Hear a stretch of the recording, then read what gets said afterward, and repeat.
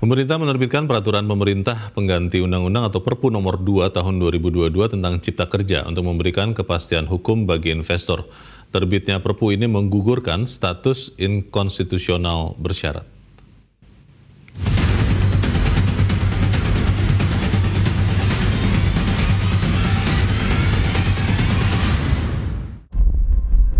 Presiden Joko Widodo menerbitkan peraturan pemerintah pengganti undang-undang atau Perpu nomor 2 tahun 2022 tentang Cipta Kerja pada Jumat 30 Desember 2022 lalu.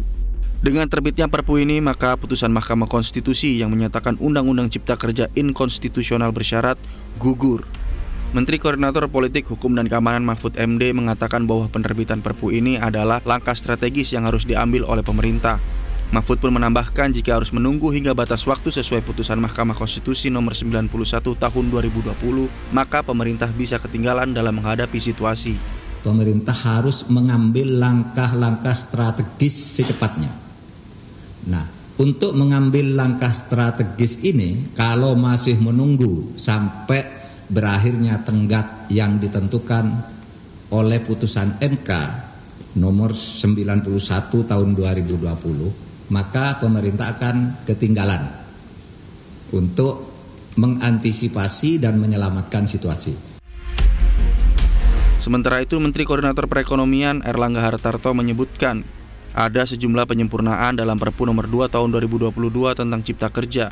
Sejumlah ketentuan yang berubah di antaranya soal upah minimum tenaga alih daya, harmonisasi peraturan perpajakan, dan hubungan pemerintah pusat dan pemerintah daerah. Perubahan dalam upah minimum di antaranya penambahan unsur daya beli masyarakat masuk dalam perhitungan selain unsur inflasi dan pertumbuhan ekonomi.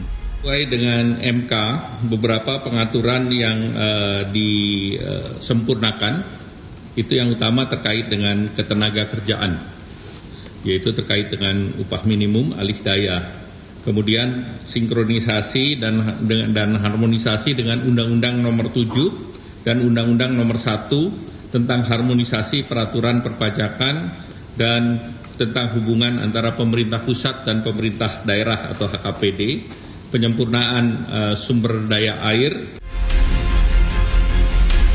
Tantangan perekonomian di tahun 2023 mulai dari ancaman resesi global hingga mengejar target investasi sebesar 1.200 hingga 1.400 triliun rupiah menjadi alasan mendesak Perpu tentang Cipta Kerja ini diterbitkan.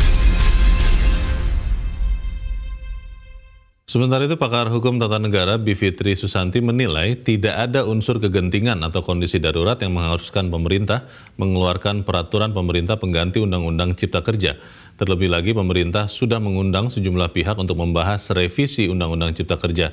Keluarnya Perpu mengindikasikan pemerintah menghindari diskusi publik terkait dengan pembahasan Undang-Undang Cipta Kerja. Nah, ini kan prosedur biasa sebenarnya tidak juga sangat terhalang karena nggak ada bencana nasional, nggak ada perang atau apa pun. Yang terjadi hanya DPR sedang masa reses. Sebagian mungkin liburan, ada yang umroh segala macam. Hanya itu. Eh, lagi-lagi minggu depan sebenarnya bisa ditunggu sedikit, DPR sudah bisa uh, mulai bersidang lagi. Tapi itu tidak ditempuh, yang ditempuh justru Perpu.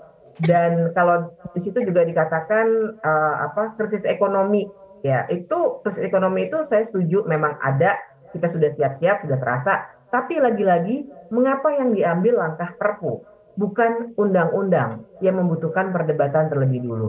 Bahkan ada satu lagi saya sudah baca, alasannya adalah krisis iklim misalnya begitu ya. Tapi isi dari uh, perpu cipta kerja ini justru berbanding terbalik dengan apa yang mestinya kita lakukan untuk krisis iklim. Karena yang terjadi di dalam undang perpu ini adalah perusahaan lingkungan, pembiaran perusahaan lingkungan melalui proyek-proyek strategis nasional dan lain sebagainya.